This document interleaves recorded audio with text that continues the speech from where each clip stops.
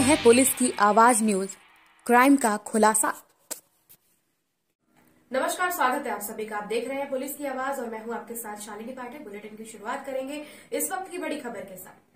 संभल में रेप पीड़िता छात्रा सुसाइड मामले में पुलिस ने बड़ी कार्यवाही की है। रेप पीड़िता को फैसले को धमकाने के मामले में आनंद फानन में कार्यवाही करते हुए पुलिस ने रेपिस्ट के तीन परिजनों को अरेस्ट किया है। पूरा मामला बहजोई थाना के गाँव का है, जहाँ कल बीए की एक छात्रा ने फांसी लगाकर आत्महत्या कर ली। छात्रा के परिजनों का आरोप था कि छात्रा के साथ रेप हुआ। उसका वीडियो क्लिप बनाकर धमकाकर फैसले को लगातार दबाव बनाया जा रहा था, जिससे परेशान हो उसने आत्महत्या कर ली। इसके बाद पुलिस ने आत्महत्या को प्रेरित करने और धमकाने के आरोप में केस दर्ज किया था, जिसके बाद पुलिस ने आनंद फानन में कार्यवाही करते हुए रेप के आरोपी आशीष की माँ बाप और भाई को 24 घंटे के अंदर गिरफ़्तार कर लिया। आपको बता दें कि रेपिस्ट आशीष पहले से ही जेल में है। एसपी ने मामले और गिरफ्तारी का खुलासा किया है।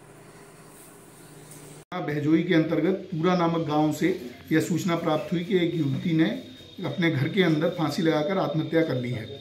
मौके पर पुलिस के द्वारा पहुंचकर पोस्टमार्टम पंचनामा किया गया तथा घर वालों की ये तहरीर थी कि इसी युवती के द्वारा 27 जनवरी 2021 को थाना बहजोई पर एक तीन का मुकदमा पंजीकृत कराया गया था, जिसमें आशीष नामक युवक को गिरफ़्तार करते हुए उसी समय जेल भेज दिया गया था।